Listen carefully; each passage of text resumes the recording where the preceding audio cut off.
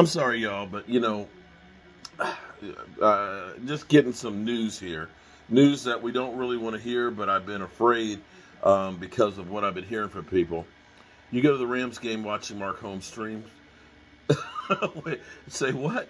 Okay, here's here's what we're hearing. Okay, uh, tomorrow um, Mike McCarthy and stuff will be talking with the trainer um, about Dak Prescott and so on. Um, he's gotten better, of course. He's not in the walking boot like he was, but he's not quite all the way there. And basically, Cooper Rush has been taking all the snaps, first team snaps with the team. And it's looking like Dak Prescott will not be playing on Sunday night. If you look at uh, the sports line, in fact, Michael looked at, you know, was telling me, he was like, wait a minute. He said, I thought the Cowboys were favored. And I said, they were. They were favored yesterday by two and a half. Well, the Cowboys are now two and a half point underdogs, um, which means Vegas is saying, okay, shit's changed. when Vegas knows, that, then the shit's real. So at the moment, it looks like Dak Prescott will not be playing Sunday night. Cooper Rush will be starting. Now, I've been listening to a lot of y'all that are saying, oh man, see, we need to have a good backup. Well, we thought we had a good backup last year with Andy Dalton. How well did that work?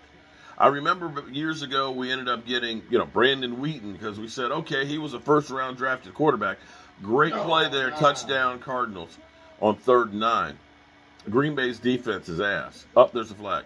Um, and when we found out that Brandon Weeden wasn't exactly a quality backup, we said, let's get Matt Cassel. You know, he had a winning season with Bill Belichick. You know, he ended up being a Pro Bowl player and stuff. He came in and was ass too. Here's the thing.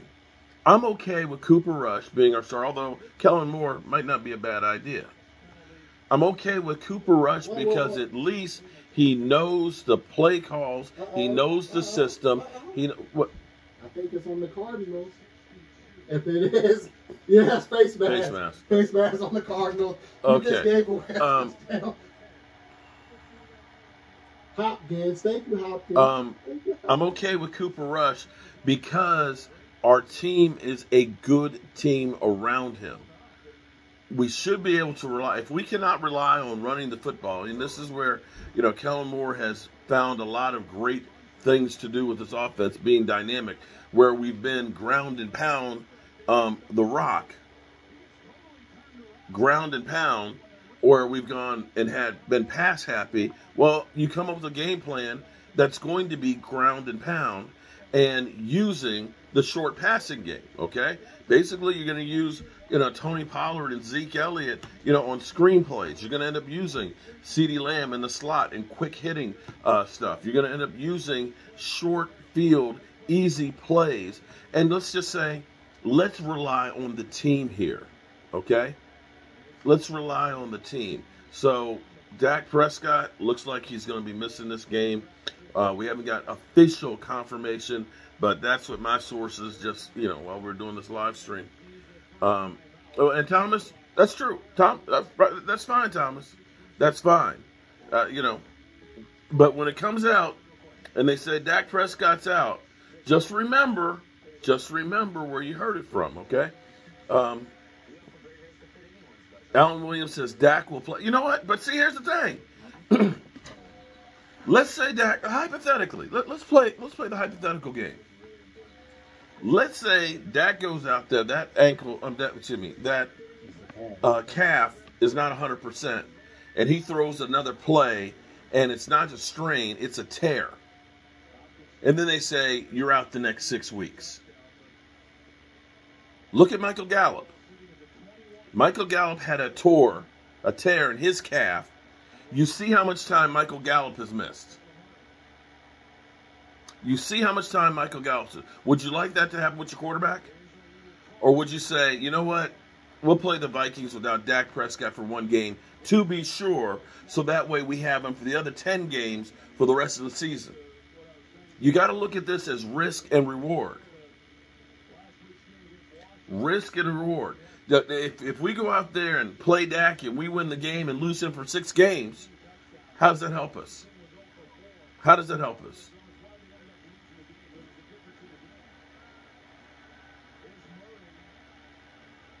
So, again, we'll find out if my sources are right or not. But they've been pretty, pretty good.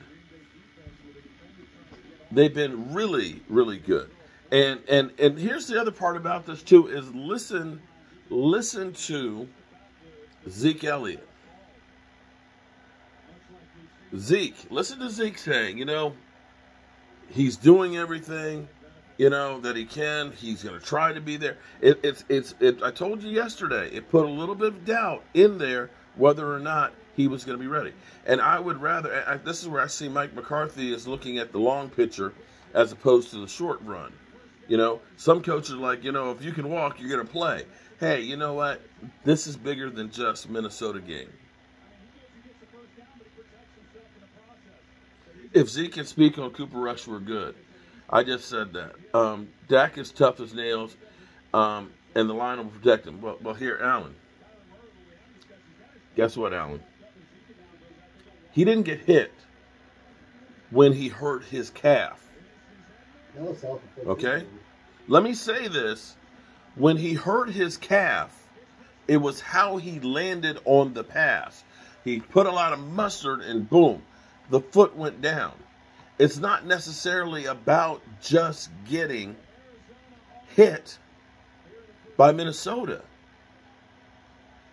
How many times have you seen guys running on the field and all of a sudden they go down and they've never been touched? You've got to let let let put up Dak's 18 minute interview today. Okay, I'm just saying, just saying. We'll, we'll find out. Um, I actually didn't see his interview from today. Let me see if I can find it in a second here. We're toasted. Cooper Rush can't throw, can't run, can't think under pressure. We're toasted. Well, you know what? They probably said the same thing about Jason Garrett on that Thanksgiving game. Yeah, but how many games did Cooper Rush for?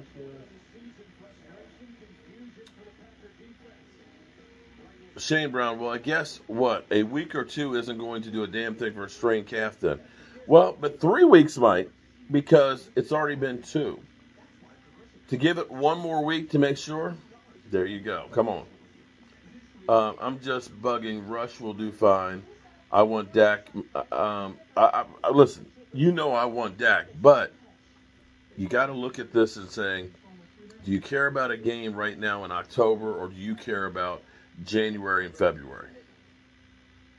And I think if there's if there's a doubt, if there's a possibility that playing him for this game ends up being that his leg gets worse as opposed to giving him an extra week and saying there's a better chance that he won't hurt it, I'm with waiting another week. Uh, I'm just that, that's just me, and you know.